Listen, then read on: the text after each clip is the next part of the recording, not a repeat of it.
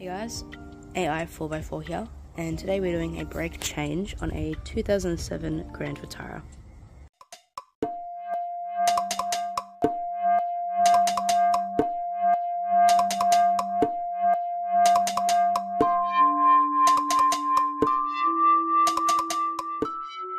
Alright, so I'm recording this after we did that, as you can see. I'm behind my car. Have you seen the video putting a brake change for the 2007? Um, as far as I'm aware, 2006, 2012 should, don't quote me, should be the same uh, kind of system. Uh, it wasn't hard, uh, but it wasn't easy. Uh, it took a lot of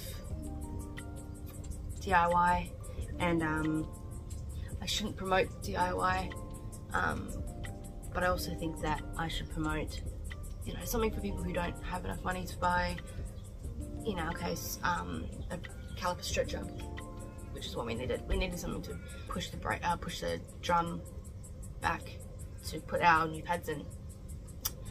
Um, we did it really sketchy. Uh, so viewer discretion is, is advised. I know I shouldn't be saying that for a DIY or for a brake changing video but brake changing is something that's very important. Uh, if you can avoid it, try and get someone else to do it, uh, preferably a professional, um, just because if they fail, be life or death, not only for you but for someone else. Um, rear brakes are a lot harder to do. They have a drum, they have electronics, they have springs. Front brakes are not too hard to do, uh, as you may see. We made it look really difficult, but as you may see, uh, it's just, you know, taking the pads out. But again, um, I didn't have the money nor the patience to let someone else do it for me. Uh, I do have a really good mechanic um, so, you know, it's not against him, love my mechanic. It's just something that I knew that I could do myself. Um, and my dad, of course. So, we did do it. Um, and video. Thing we did, uh, made sure the handbrake was on. Handbrake's very vital because that just holds the back tyres in place, sort of. You also have to truck your car. We put bricks behind uh, the front tyre we weren't working on and the rear tyres. The car's still on the ground, lowered.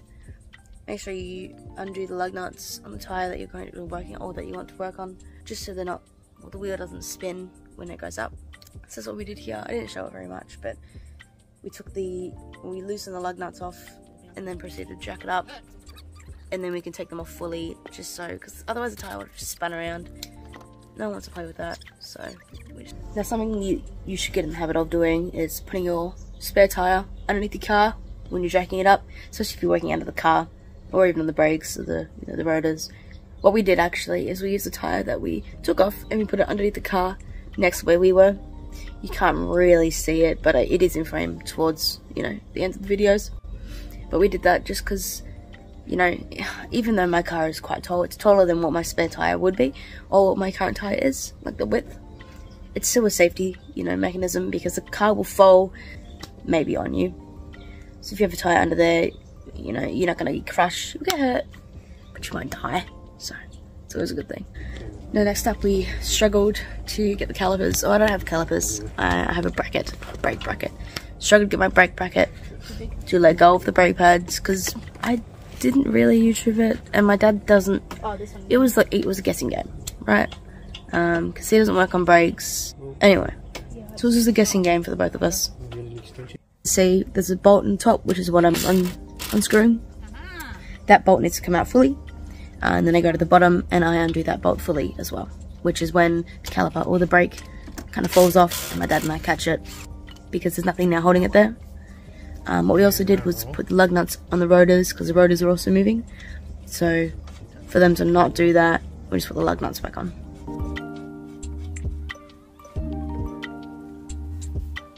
What we did here is we took the brakes off. Um, as you can see by my grumbling, it was quite heavy. What I did here was I popped out the brake pads um, and then we just collected them.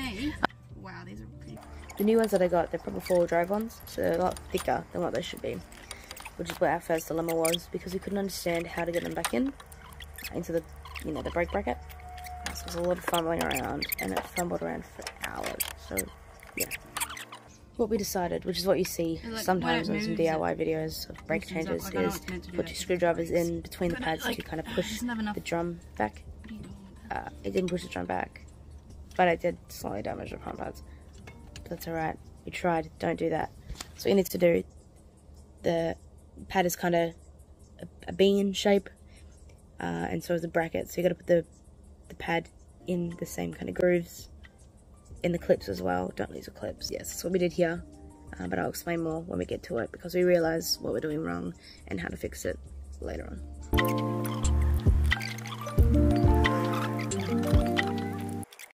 What I didn't say before starting this video, make sure, preferably when your car is on the ground, is take your brake fluid cap off. So this stops the pressure build-up inside your brake calipers or your brake pads. You jump, your brakes. It stops the pressure on your brakes. Uh, so then, when you're pushing the drum backwards like we are doing now, the brake won't go back, it'll keep the pressure, which is what happens when you don't take the cap off. Take the cap off, it will go back. You will see brake fluid start pouring out of the chamber, but that's alright. It's just brake fluid, it'll be fine. Not for your paint, don't get your paint and within the paint any clothes. But make sure you do that before you start putting your pads on.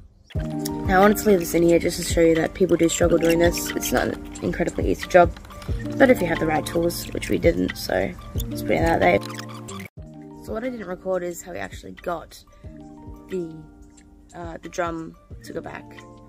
Uh, I didn't record that just because I thought, oh, that's really sketchy. I don't really want to promote that, but I should have promoted that.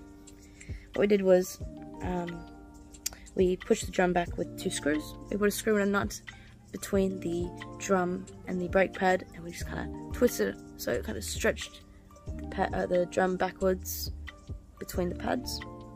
So got a screw here and a nut here and we kind of wound it up so the drum would push backwards.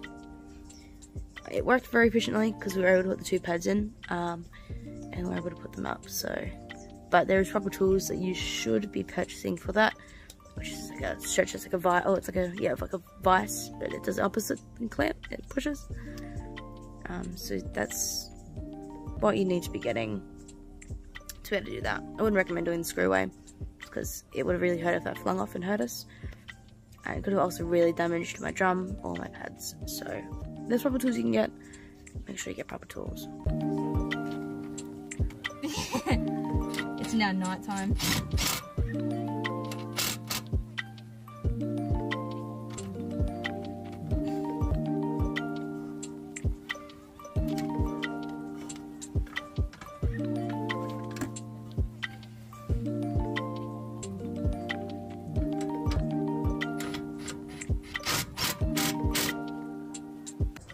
Now it is time to take the tyre out from underneath the car and put the jack down.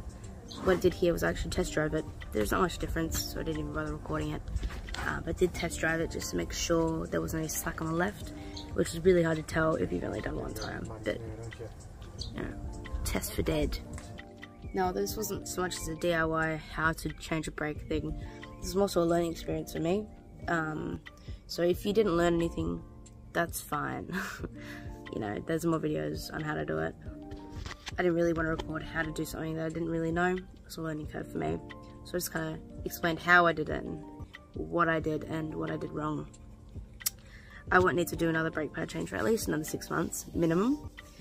Um, so, I mean, that'd be good. But yeah, another six months minimum. So, hopefully, um, I don't have to do it again because it's quite frustrating. But next up is rear brakes. I'm not doing the rear brakes. Take my advice, make your mechanic do it.